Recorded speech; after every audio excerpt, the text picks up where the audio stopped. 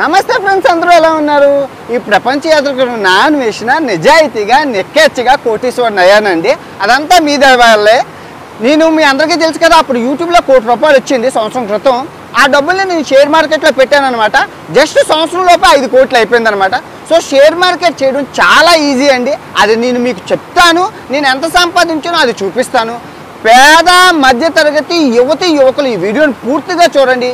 పూర్తిగా చూశాక ఈ వీడియోని మీ దేవుడు గదిలోని లక్ష్మీదేవి పటం పక్కన నా వీడియో పెట్టుకొని నన్ను పూజ చేస్తారు. ఇది నాది గ్యారంటీ. పూర్తిగా అయితే చూడాలి. మళ్ళీ మళ్ళీ చెప్తున్నాను షేర్ మార్కెట్ చాలా చాలా సులువు. డబ్బులు మీరు ఎందులో పెట్టాలో నేనే చెప్తాను.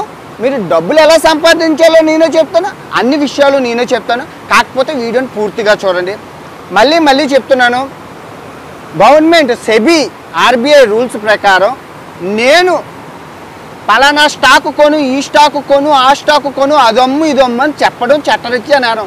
పొరపాటుని ఇది కొను అది కొను అని చెప్పానా అనుకోండి నన్ను తీసుకెళ్ళి జైల్లో పెడతారు. అది చెట్టరిచ్చే నేరం. కాకపోతే నేను ఏం కొన్నాను ఎలా కొన్నాను ఎందుకు కొన్నాను ఎప్పుడు కొన్నాను అవన్నీ మీకు చెప్పడం ద్వారా చాలా చాలా చాలా నాలెడ్జ్ ఇటువంటి ఇటువంటి వీడియో ఇప్పటివరకు మీరు చూసి ఉండరు ఎవరో చేసి ఉండరు ఎవరికి తెలియదు నూట ఇరవై ఐదు దేశాలు తిరిగి ఆ స్టాక్ మార్కెట్ని ఏ స్టాక్ మార్కెట్ని భవిష్యత్తులో ఏ స్టాక్ పెరుగుతుంది ఏది ఉపయోగమో ఒక బ్రహ్మం గారు చరిత్ర చెప్పినట్లు ప్రపంచ దేశాలన్నీ తిరిగి భారతదేశంతో కంపేర్ చేసి చెప్తున్నాను.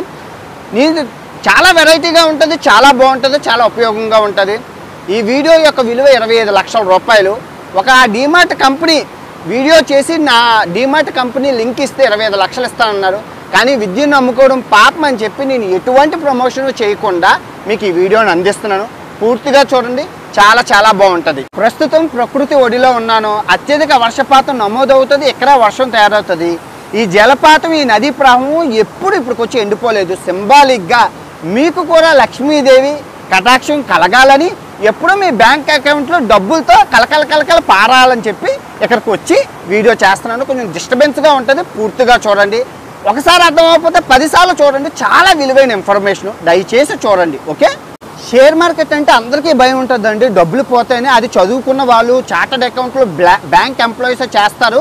చదువులేని మాకు రాదు అనుకోకండి. ఈ వీడియో చూశాక చదువు లేని వాళ్ళు చదువు రాని వాళ్ళు అక్షర జ్ఞానం లేని వారు షేర్ మార్కెట్ గురించి తెలియని వాళ్ళు కూడా షేర్ మార్కెట్ అంటే ఎంత ఈజీయా? ఒరే ఈ విషయం మాకు ఎవరు చెప్పలేదే అని నెత్తిని మీరు కొట్టుకుంటారు. ప్రస్తుతం ఉన్న కాలంలో నిజాయితీగా కోటీశ్వర్లు అవ్వడం అంటే ఒక షేర్ మార్కెట్తోనే సాధ్యం అండి ఎగ్జాంపుల్ చెప్తున్నాను.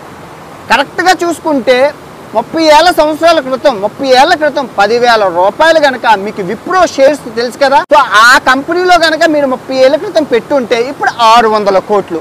పెట్టలేదు కదా ఎవరును? ఓకే ఇది పక్కన పెట్టండి. ప్రస్తుతం మీ దగ్గర పదివేల రూపాయలు ఉందండి. ఈ పదివేల రూపాయల్లో ఏటి కొనగలం?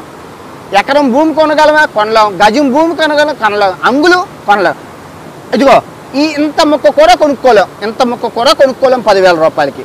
ఓకే బంగారం కొనుక్కోగలమా అడగా అడగని పది పదివేలతో బంగారం మాట మర్చిపోండి. ఇంకా ఇంకేం కొనుక్కోగలం? కొన్ని ఏమైనా ఫిక్స్డ్ డిపాజిట్లు చేద్దామంటే బ్యాంక్ ఇంట్రెస్ట్లు తక్కువ. మరి ఏం చెయ్యాలి అండి అంటే అదే మీకు చెప్తున్నానండి. షేర్ మార్కెట్లో మీరేం కొనాలి?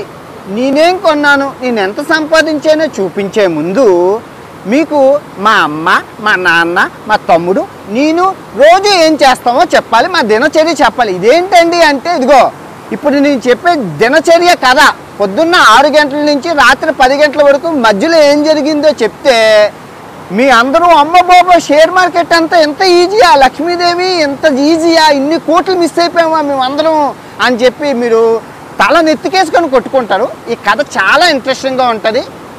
చాలా జాగ్రత్తగా పిన్ టు పిన్ వినండి ఓకే? ఒకరోకో కోడి కూచింది తెల్లవారు ఆరు అయ్యింది సుప్రభాతం వినపేస్తుంది. అమ్మ నాన్న లేచారు తర్వాత మమ్మల్ని లేపారు. అమ్మ నాన్న లేచిన వెంటనే డాబర్ టూత్ పేస్ట్తో పళ్ళు తోముకున్నారు. ఎందుకంటే మా నాన్నకి ఆయుర్వేదం అంటే ఇష్టం డాబర్ వాడతారు. తర్వాత మేము క్లోజప్ అది చేదుగా ఉంటుందని చెప్పగానే మేము క్లోజప్ టూత్ పేస్ట్ మేము బ్రష్ బ్రష్ చేసేసుకున్నాం.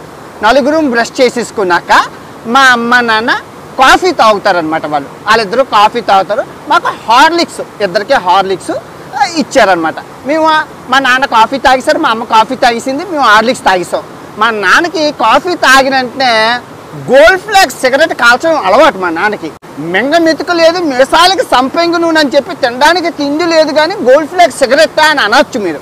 మా నాన్న తాగిన మ సిగరెట్ మంచిగా ఉండాలని చెప్పి కాస్ట్లీ సిగరెట్ ఎప్పటి నుంచో తాగుతున్నాడు మా నాన్న. ఏది? Gold Flake cigarette.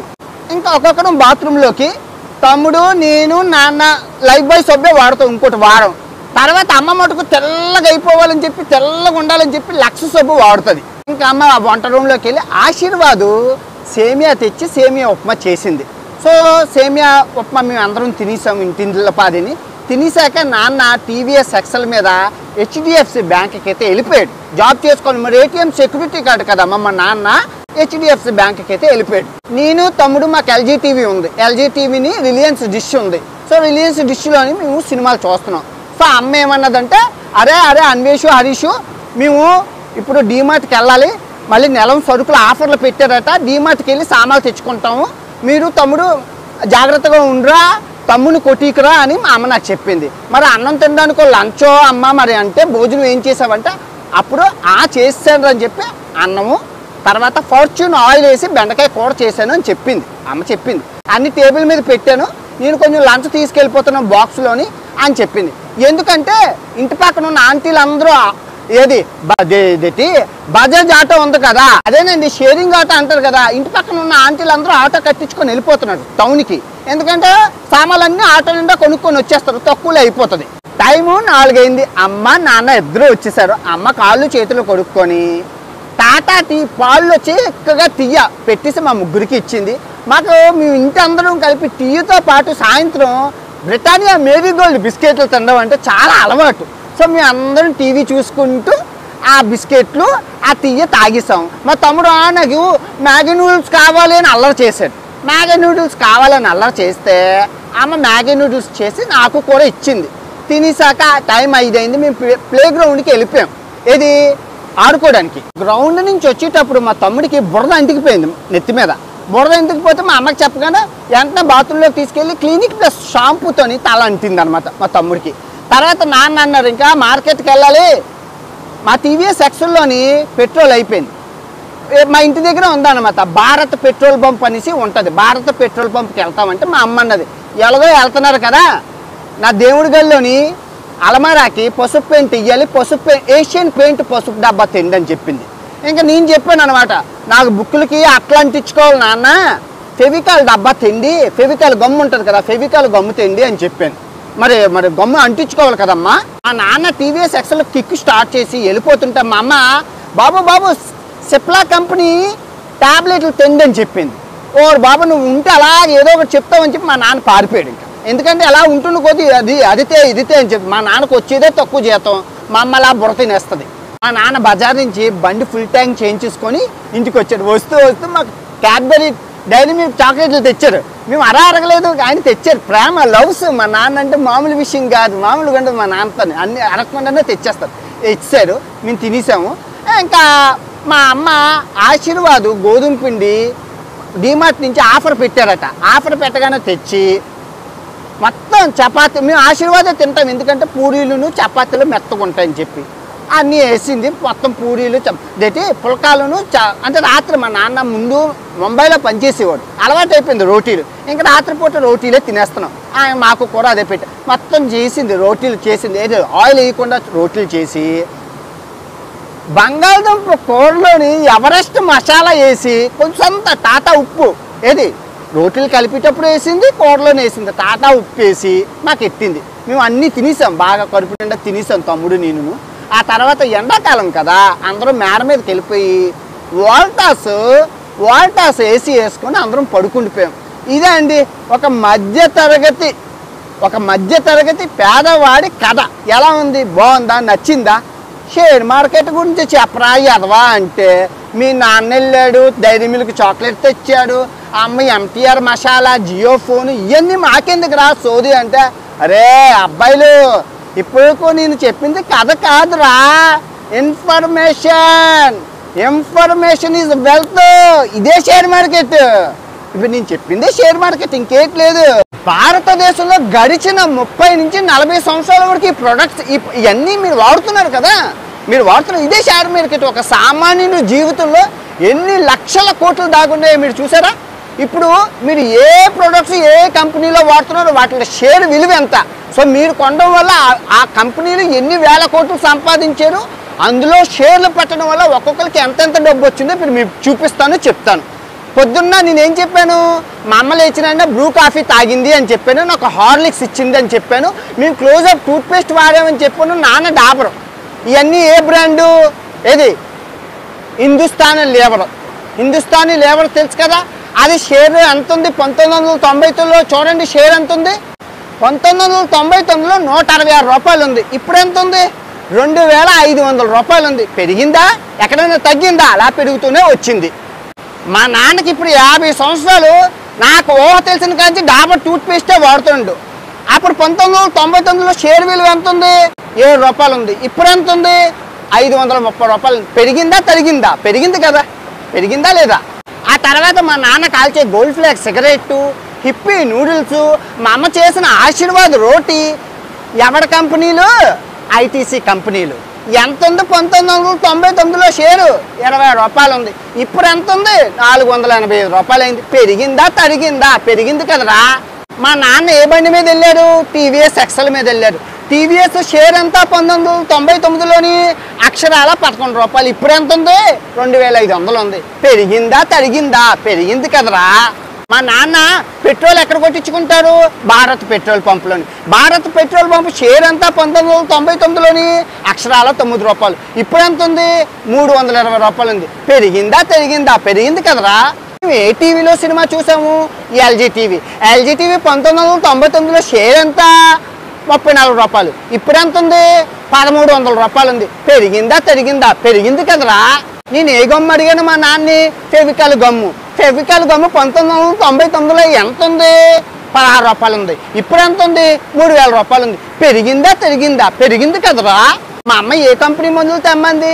సెప్లా company. సెప్లా company పంతొమ్మిది వందల తొంభై తొమ్మిదిలో షేర్ ఎంత ఉంది ఇరవై మూడు రూపాయలు ఉంది. ఇప్పుడు ఎంత ఉంది పదిహేను వందల రూపాయలు ఉంది. పెరిగిందా తరిగిందా? పెరిగింది కదరా. మా నాన్న ఏ బ్యాంకులో పనిచేస్తుండు? హెచ్డిఎఫ్సి. హెచ్డిఎఫ్సి బ్యాంకు పంతొమ్మిది వందల తొంభై తొమ్మిదిలో షేర్ ఎంత ఉంది ఐదు రూపాయలు ఉంది ఇప్పుడు ఎంత ఉంది పదిహేడు వందలు ఉంది పెరిగిందా తరిగిందా? పెరిగింది కదరా. మా అమ్మ ఏ పెయింట్లు తెమ్మంది? ఏషియన్ పెయింట్లు. పంతొమ్మిది వందల తొంభై తొమ్మిదిలో ఏషియన్ పెయింట్ మార్కెట్ ఎంత ఉంది పదకొండు రూపాయలు ఉంది ఇప్పుడు ఎంత ఉంది మూడు వేలు ఉంది పెరిగిందా తరిగిందా? పెరిగింది కదరా. అమ్మ బెండకాయ కూర ఏ నూనె వేసి చేసింది? ఫర్చ్యూన్ నూనె. ఫర్చ్యూన్ నూనె అంటే ఎవరు? ఆదాని. ఆదాని పంతొమ్మిది వందల తొంభై తొమ్మిదిలో షేర్ మార్కెట్ ఎంత ఉంది ఆరు రూపాయలు ఉంది. ఇప్పుడు ఎంత ఉంది మూడు మూడు వేలు ఉంది. పెరిగిందా? పెరిగిందా? పెరిగింది కదరా. మేము టీలో ఏం బిస్కెట్లు తిన్నాము? Britannia Marie Gold Britannia company పంతొమ్మిది వందల తొంభై తొమ్మిదిలో షేర్ ఎంత ఉంది? యాభై రూపాయలు ఉంది. ఇప్పుడు ఎంత ఉంది? ఆరు వేల రూపాయలు ఉంది. పెరిగిందా? పెరిగిందా? పెరిగింది కదరా. ఓకే ఇప్పుడు షేర్ మార్కెట్ గురించి సీరియస్గా మాట్లాడుకుందాం. ఇప్పుడు ఈ గడిచిన నలభై సంవత్సరాల నుంచి షేర్లు ఎక్కడికి పోలేదు కదండి. మనం కొనుక్కుంటున్నాం ఇందులో తొంభై శాతం షేర్లు మీకు తెలీదు. పదేసి వేలు పెట్టినోడుకు కోటీశ్వర్లు అయ్యాడు అప్పుడు ముప్పై సంవత్సరాల క్రితం రిలయన్స్ అనగా సిప్లా అనగా ఈ విప్రో అనగా చా చెప్పుకుంటూ పోతే చాలా దాంట్లో లిస్ట్ ఉంది అలాగా. కాకపోతే ఇక్కడ ఏంటంటే ఎవరికి తెలియదు షేర్ మార్కెట్ అంటే భయం.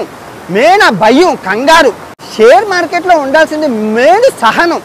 ఓపిక ఓర్పు ఇవి ఉంటే కోట్లు ఎన్ని మంది సంపాదించలేదండి. అందరికీ చాలా ఈజీ.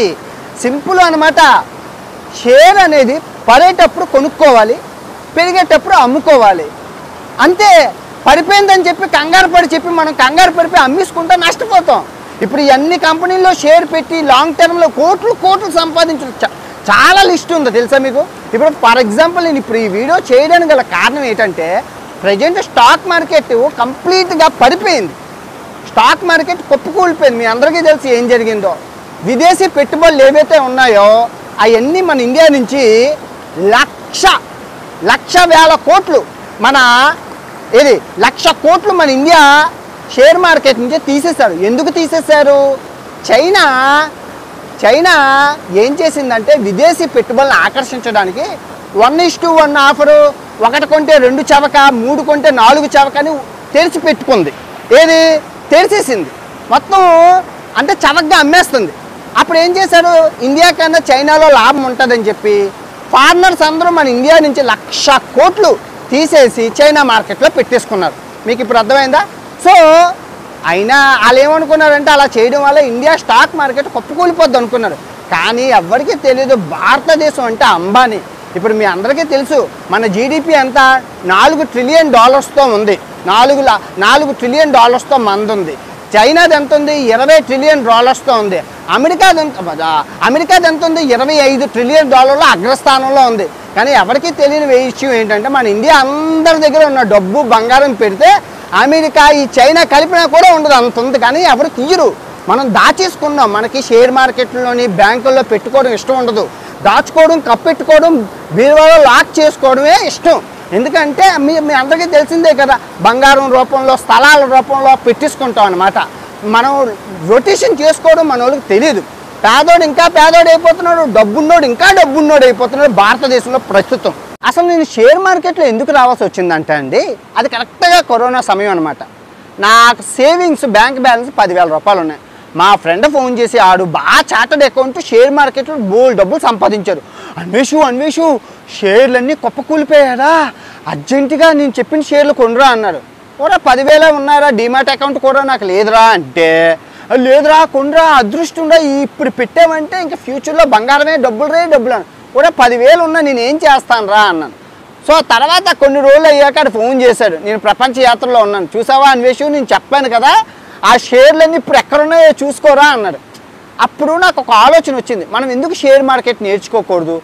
ఇదేం పెద్ద ఇదేం పెద్ద భ్రమ విద్య ఏం కాదు కదా. ఏముంది? చదువుకున్నాను కదా అని చెప్పి బాగా వినండి. మేక్ మనీ పర్సన్ చెప్పి ఈయన తెలుసు కదా? నేను స్టార్టింగ్ నుంచి మనీ పర్సన్ చెప్పి ఈయనది అన్ని వీడియోలు చూసి నేర్చుకున్నాను. అసలు ఏంటి? షేర్ మార్కెట్ అంటే ఏంటి అని. బేసిక్స్ అవి. ఆ తర్వాత డే ట్రేడర్ తెలుగు. ఉంటారు కదా డే ట్రేడర్ ఆయన. సో ఈ ఛానల్ ఆయన. ఈ ఛానల్ ఆయన కూడా చెప్పింది అర్థమైంది బాగా నచ్చింది. ఈంది వేరే టైపు ఈంది వేరే టైపు కానీ ఇద్దరు ఒకే షేర్ మార్కెట్ గురించి రోజు జరిగే విశేషాలు కథలు అన్నీ చెప్తుంటారు. వాళ్ళిద్దరివి రెండు సంవత్సరాలు నేర్చుకున్నాను. అంటే రెండు రెండు సంవత్సరాలు నేను షేర్ మార్కెట్లో డబ్బులు ఎట్టిలేదమ్మా? నేర్చుకున్నాను. రెండు సంవత్సరాలు ఖాళీ దిక్కున్నప్పుడల్లా ఒక పుస్తకం పెన్ను తీసుకొని షేర్ మార్కెట్ అంటే ఏంటి? ఎప్పుడు కొనాలి? ఎప్పుడు అమ్మాలి? నిఫ్టీ అంటే ఏంటి? సెన్సెక్స్ అంటే ఏంటి? మా small cap mid cap index ఇవన్నీ ఏంటి అని పుస్తకం పెన్ను రాసుకొని తెలుగులో రాసుకొని ఉంచుకున్నాను. తెలుసా? ఇప్పుడు నాకు కోటి రూపాయలు వచ్చింది కదా. సో కోటి రూపాయలు ఇన్కమ్ అంటే ఇన్కమ్ కాదు. ఖర్చు నేను పెట్టిన ఖర్చు ట్యాక్స్లో అన్నీ తీసేయగా ఒక నలభై లక్షలు మిగిలింది. సో నలభై లక్షలు ఇరవై లక్షలు నేను నా బ్యాంక్ బ్యాలెన్స్ పెట్టుకొని ఇరవై లక్షలు నా అందరికీ మీ అందరికీ తెలుసు.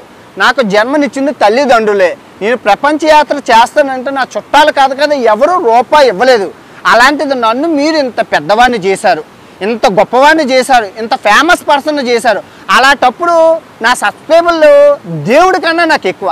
వాళ్ళ రుణం ఎలాగైనా తీర్చుకోవాలి వాళ్ళకి నా వం నేను ఏదైనా చేయగలగాలి అని చెప్పి నేను ఇండియాకి వచ్చేటప్పుడు మీటప్ పెట్టడానికి విశాఖపట్నంలోని హైదరాబాద్లోని విజయవాడలోని బెంగళూరులోని ఉంటాయని చెప్పి ఇరవై లక్షల రూపాయలు నేను ఫిక్స్డ్ డిపాజిట్ చేయడానికి అయితే నిర్ణయించుకున్నాను. అంటే జాగ్రత్తగా ఉంచుకున్నాను. సో అప్పుడు ఒక ఆలోచన వచ్చింది.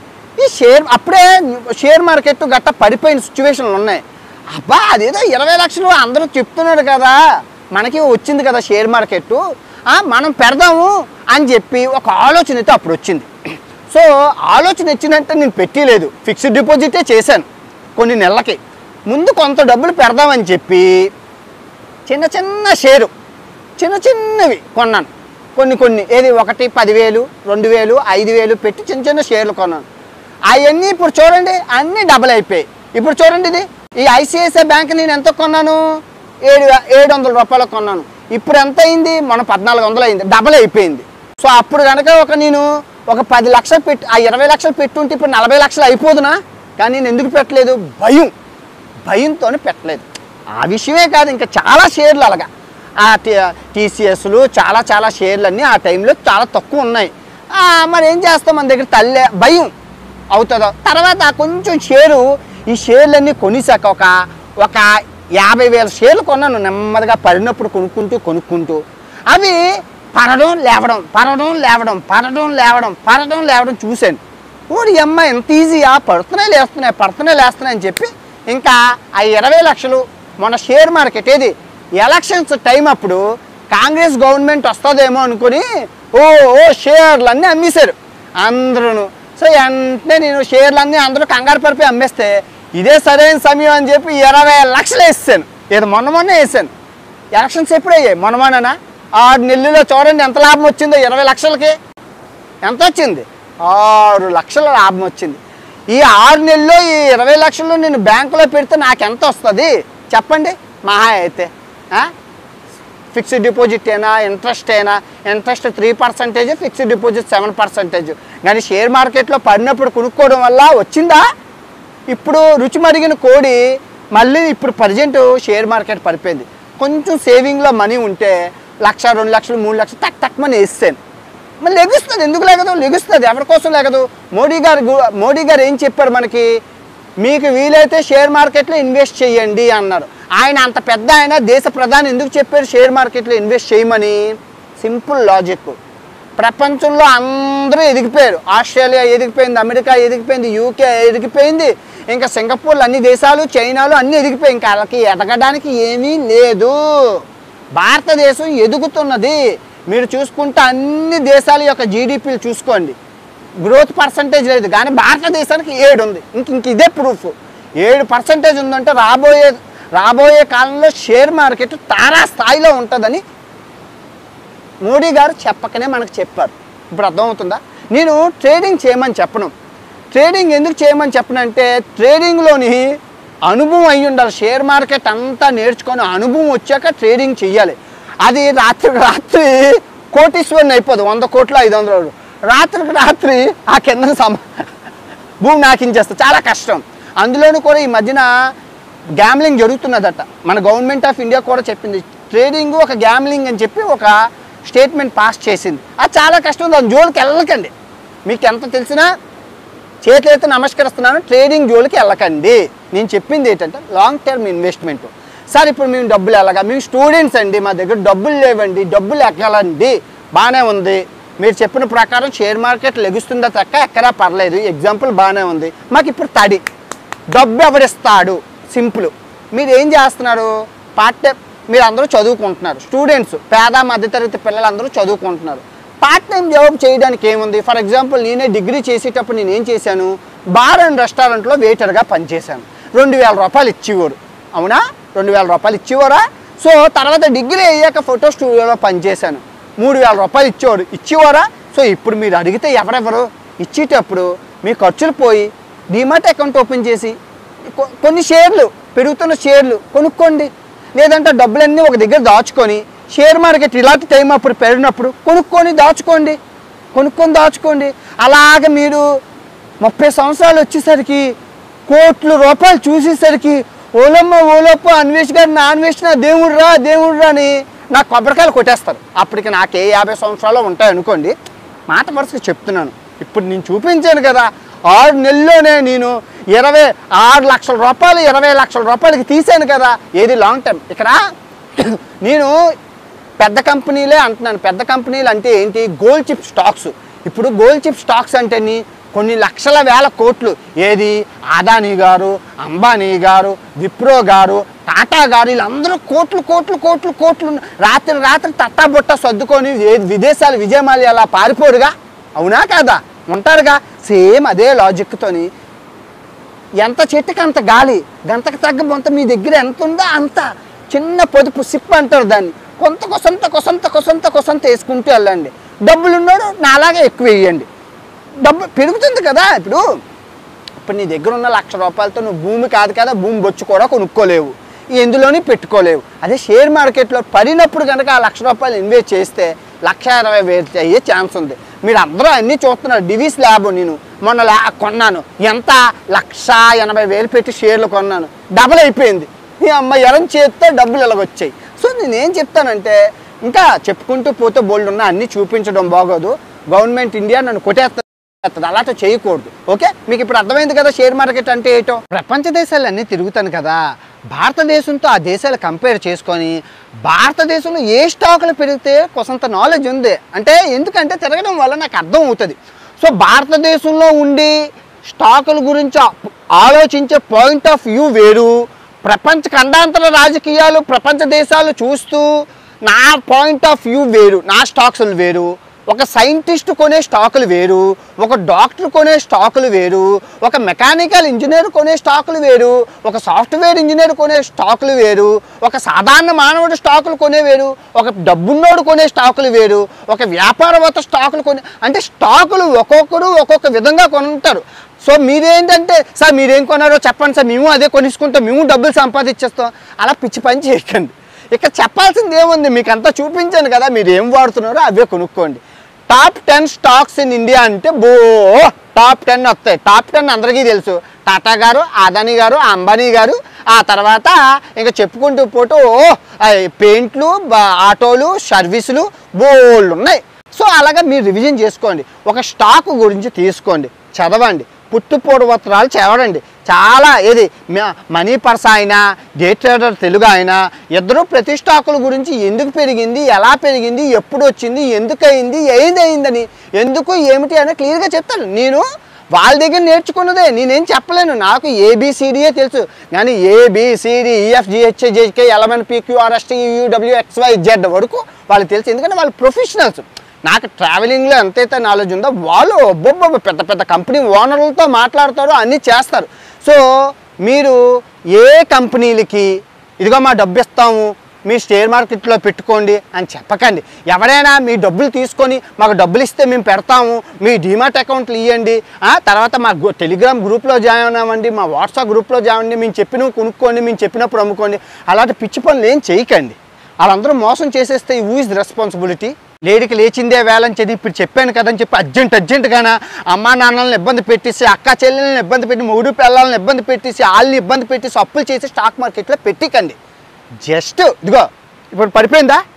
ఇప్పుడు పడిపోయిందా? మళ్ళీ లెగుతుంది ఇప్పుడు ప్రజెంట్ పడిపోయింది కదా? లెగుతుంది ఎందుకంటే ట్రంప్ మాయి గెలిచాడు అమెరికాలో లెగుతుంది లెగుతుంది కదా?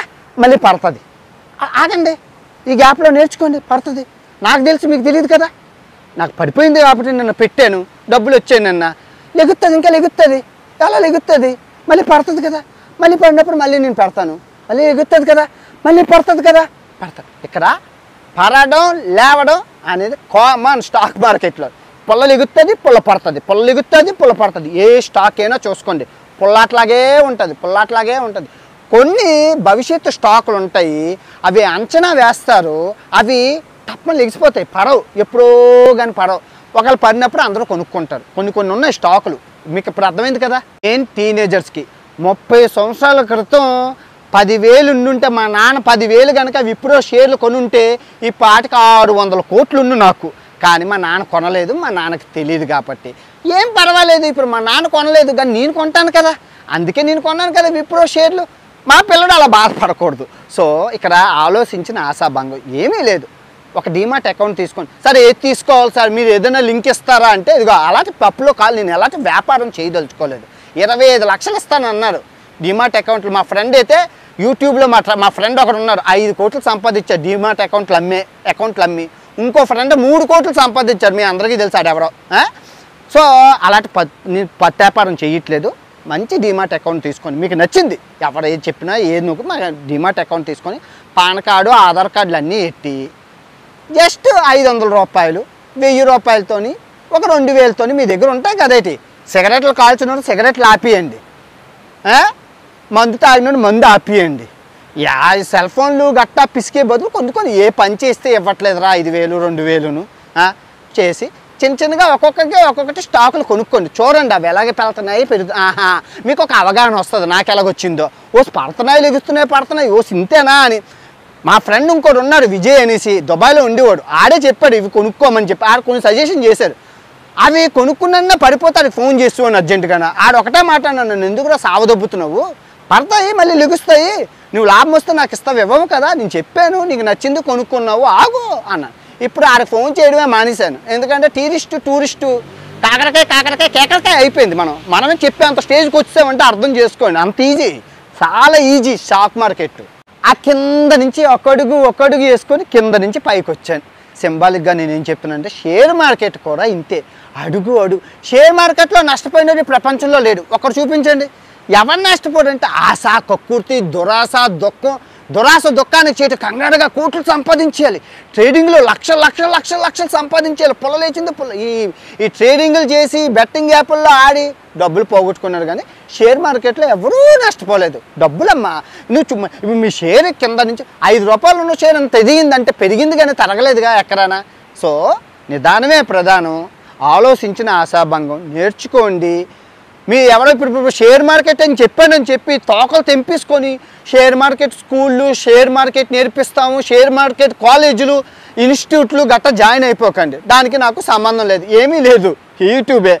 బ్రూ కాఫీ నెస్కేఫీ తన రైస్ ఇవన్నీ నేను చెప్పినవి యూట్యూబ్లో సవా లక్ష వీడియోలు ఉన్నాయి. చూసి నేర్చుకొని ఏ?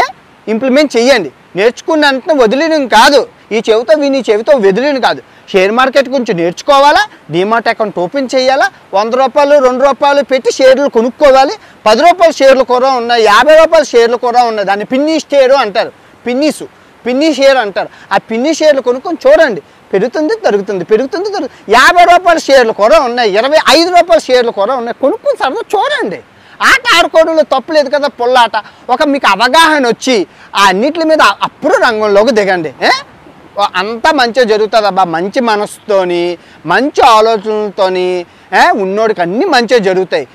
నాకైతే ఇంక మామ లక్ష్మీదేవి నన్ను ఎట్నుంచి వెళ్ళినా ఎగురు తన్నేస్తుంది. ఏడ్ చేస్తాను నన్ను నన్ను నన్ను ఏడ్ చేయమంటారు. ఇప్పుడు స్టాక్ మార్కెట్ పడిపోయింది. ఇంకా ఏది? ఆ కలేజా సినిమాలో కలేజానా అదేదో సినిమాలోని అంటారు కదా. ఎవరైనా చచ్చిపోతారు ఆనందం ఫీల్ అవుతారు. స్టాక్ మార్కెట్ పడిపోయింది నాకు ఆనందానికి హద్దులు లేవు. నాలుగు రోజుల నుంచి ఇంకా ఆనందం ఉబ్బు పెట్టేస్తాను పెట్టేస్తాను పెట్టేస్తాను పెట్టేస్తాను. తర్వాత పెరిగాక తీసేస్తాను తీసేస్తాను తీ పాకెట్ మనీకి బిస్కెట్ హాస్టల్ డబ్బులు వస్తాయి కదమ్మా. బ్యాంకులో పెట్టుకుంటే ఏటి వస్తుందమ్మా? ఇలా పెట్టి తీయడం వల్ల డబ్బులు వస్తున్నాయి గవర్నమెంట్కి. ట్యాక్స్ వెళ్తుంది. తెలివిని వాడుకున్నోడికి వాడుకున్నంత. అందరికీ ఒకే బౌల్ ఉంటుంది. అందరికీ ఒకే గుజ్జు ఉంటుంది వాడుకున్నోడికి వాడుకున్నంత. ఏ? అందరికీ మంచిగా జరగాలి. ఆల్ టీనేజర్స్ యువత యువత యువకులు మీకు ఏం నచ్చిందో ఈ వీడియోలో కమెంట్ చేయండి. And last but not least stock market తెలిసిన వాళ్ళు ఈ వీడియో మీకు చాలా సరదాగా ఉండొచ్చు. కానీ ప్రజలకి అర్థమయ్యే విధంగా చెప్పారు. స్టాక్ మార్కెట్ ఎక్కడ పుట్టింది? అమ్మ జేజమ్మ ఆమ్స్టర్డాము నెదర్లాండ్స్ వెళ్ళి స్టాక్ మార్కెట్ అమ్మని అమ్మ అమ్మని కలిసి వచ్చాను. ఎలా పుట్టిందో అన్ని కథల కథలు తెలుసుకొని. సో ప్రపంచ యాత్రకు తెలుసు ఏం ప్రాబ్లం లేదు. ఓకే? ఆల్ ది బెస్ట్ అందరికీ ఓకే?